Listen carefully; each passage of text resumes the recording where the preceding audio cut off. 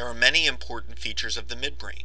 Motor fibers traveling from the cerebrum pass through the cerebral peduncles on the anterior side. Sensory fibers pass through the medial lemniscus.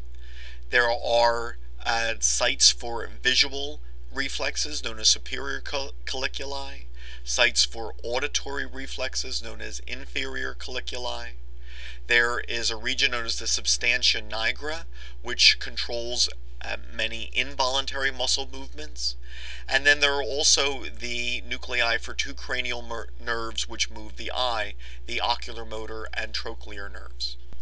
We are not consciously aware of any of the midbrain's processing, given that all of it is involuntary.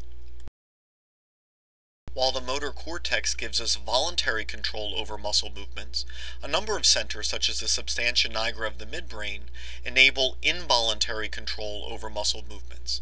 Damage to these areas, such as in Parkinson's, results in involuntary muscle tremors.